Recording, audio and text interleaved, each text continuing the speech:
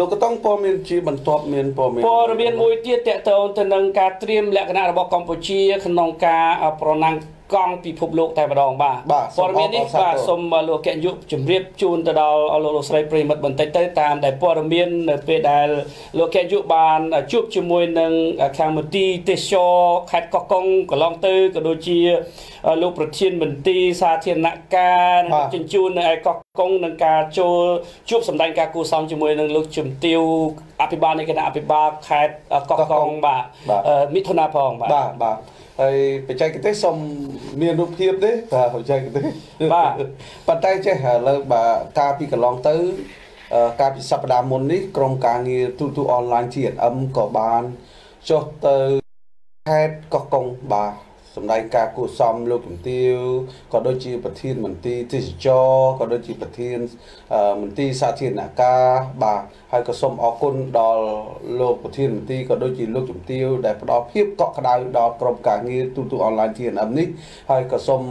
អឺអបអរសាទរជូនពរឆ្នាំថ្មីសេរីសុស្ដីនៃ2020នេះបាទហើយម្យ៉ាងវិញទៀតដែល ក្រុមការងារខ្ញុំដែលទទួលបានដំណឹងល្អបំផុតដែល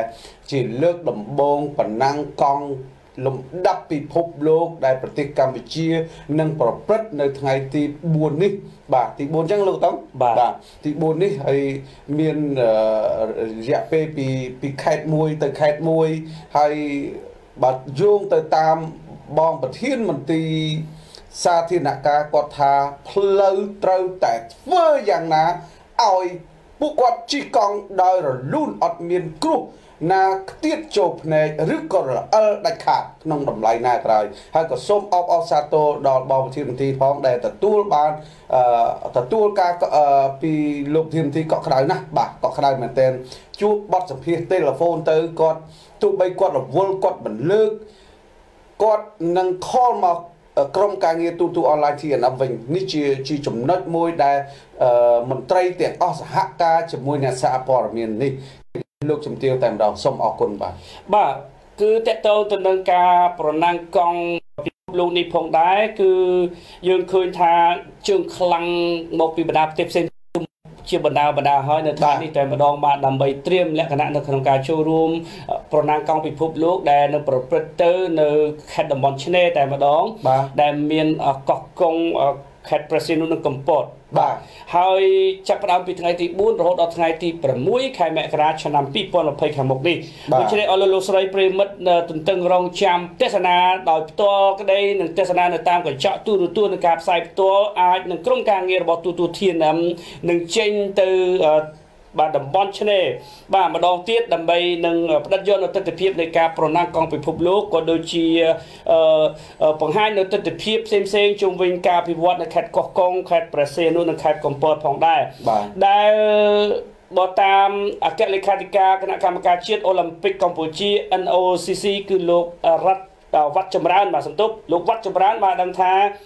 គឺនៅថ្ងៃទី2នេះគឺអ្នកចូលរួមប្រណាំងកង់មកពីបណ្ដាប្រទេសផ្សេងផ្សេងគឺបានមកដល់កម្ពុជាខ្លះខ្លះហើយដែលមានតាំងពីអតពលិកបាននៃប្រទេសដែលមកពីប៉ែកអឺរ៉ុបប៉ែកអាស៊ីបាទអញ្ចឹងគឺគេត្រៀមលក្ខណៈនេះគឺដោយ បានបញ្ជាក់ថាព្រឹត្តិការណ៍នៃប្រការប្រណាំងកង់នៅតំបន់ឆ្នេរសមុទ្រកម្ពុជាលើកទី1នេះគឺមានដំណាក់កាល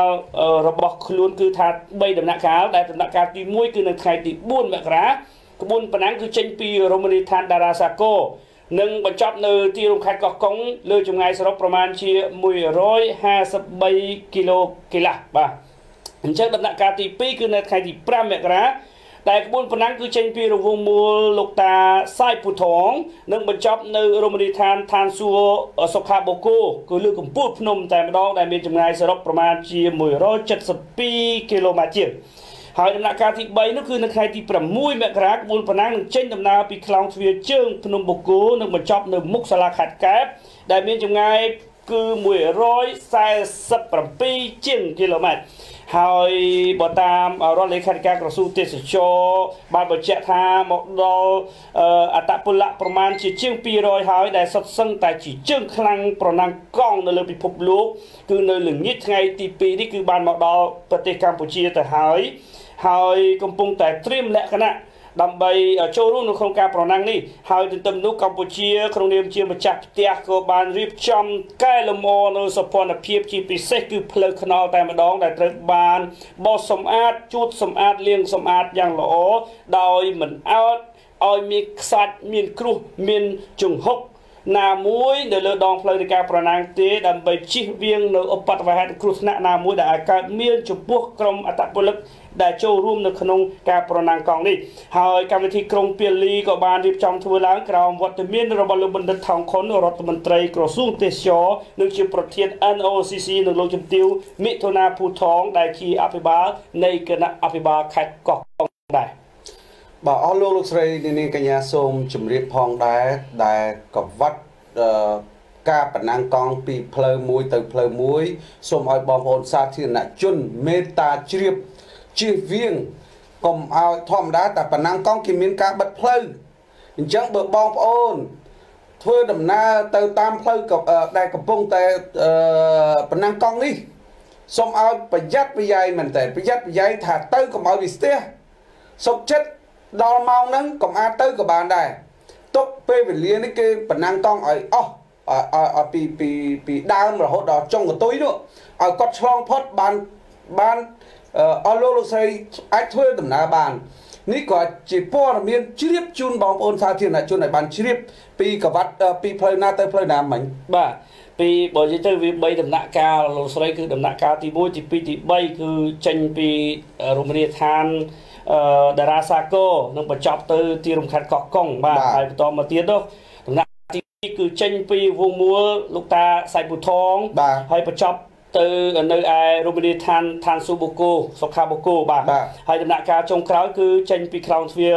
ជើងភ្នំបូកូតែម្ដងទៅបញ្ចប់នៅមុខសាលាខេត្តកែបបាទក្នុងនោះដែរលោកលោកស្រីប្រិមិត្តរដ្ឋបាលខេត្ត កោះកុងក៏បានចេញនូវសេចក្តីជូនដំណឹងដោយហាមយានយន្តដឹកជញ្ជូនដីរថយន្តដឹកសម្ភារៈសំណង់រថយន្តធុនធ្ងន់គ្រប់ប្រភេទដែលធ្វើចរាចរណ៍លើ48ក្នុងភូមិសាស្ត្រ ខេត្តកោះកុងគឺមិនអោយឆ្លងកាត់ទេរយៈពេល3ថ្ងៃគឺចាប់ពីថ្ងៃទី4ដល់ទី6ខែមករានេះតែម្ដងដែលបើតាមសេចក្តីជូនដំណឹងនេះគឺមូលហេតុនៃការហាមរបស់រដ្ឋបាលខេត្តកោះកុងគឺដោយសារតែខេត្តនេះធ្វើជាម្ចាស់ផ្ទះនៃព្រឹត្តិការណ៍ប្រណាំងកង់ពិភពលោកនៅឯតំបន់ឆ្នេរសមុទ្រកម្ពុជាលើកទី1ឆ្នាំ2020នេះតែម្ដងដែលនៅក្នុងសេចក្តីជូនដំណឹងនោះផងដែរគឺបញ្ជាក់ថាដើម្បីចូលរួមអបអរសាទរការរៀបចំព្រឹត្តិការណ៍ឲ្យបានទទួលជោគជ័យ រដ្ឋបាលខេត្តកោះកុងសូមជូនដំណឹងដល់លោកលោកស្រីជាម្ចាស់រថយន្តដឹកជញ្ជូនដីគ្រឿងសំណង់សម្ភារៈសំណង់គ្រប់ប្រភេទសូមផ្អាកការដឹកជញ្ជូនលើកំណត់ផ្លូវលេខ48ចាប់ពីចំណុចផ្លូវបំបែកស្រុកស្រែអំបិលរហូតដល់រង្វង់មូលស្ពានកោះកុងក្រុងខេមរៈភូមិន្ទនិងត្រង់ចំណុចរង្វង់មូលវិថីសាយពូថងរហូតដល់ក្រុមហ៊ុន New Year ចាប់ពីថ្ងៃទី2ដល់ទី5ដោយផ្លូវទាំងនេះស្ថិតនៅក្នុង circuit ដែលហៅថាប៉ារ៉ាវេនៃការប្រណាំងកង់ពិភពលោកនេះបើតាមការជួនដំណឹងដែលចុះហត្ថលេខាដោយអភិបាលនៃគណៈអភិបាលខេត្តកោះកុងគឺលោកស្រីមិថុនាភូថងបាទបាទអរលោកលោកស្រីនាងកញ្ញាបានជឿហើយការប្រឡងប្រណាំងលំដាប់ពិភពលោកនៅឯប្រទេសកម្ពុជា គឺប្រណាំងកង់មិនមែនប្រណាំងម៉ូតូទេបាទ អញ្ចឹងសូមឲ្យបងប្អូនជាពិសេសអ្នកនៅតាមដងផ្លូវសូមមេត្តាជ្រាបឲ្យជ្រាបជាដំណឹងហើយមេត្តាប្រយ័ត្នប្រយែងនៅការឆ្លងកាត់យើងត្រូវដឹងថាជួនកាលប្រទេសយើងប្រទេសយើងជួបនឹងគ្រោះថ្នាក់ចរាចរណ៍ជាមួយនឹងអតិភ្លើងបាទឥឡូវសូមឲ្យបងប្អូនជ្រាបបាទពេលប្រណាំងកង់ថ្ងៃទី4ថ្ងៃទី5នេះតាមមូលដ្ឋានដែលលោកកតុងបានជ្រាបបានជម្រាបជូនបងប្អូនហើយ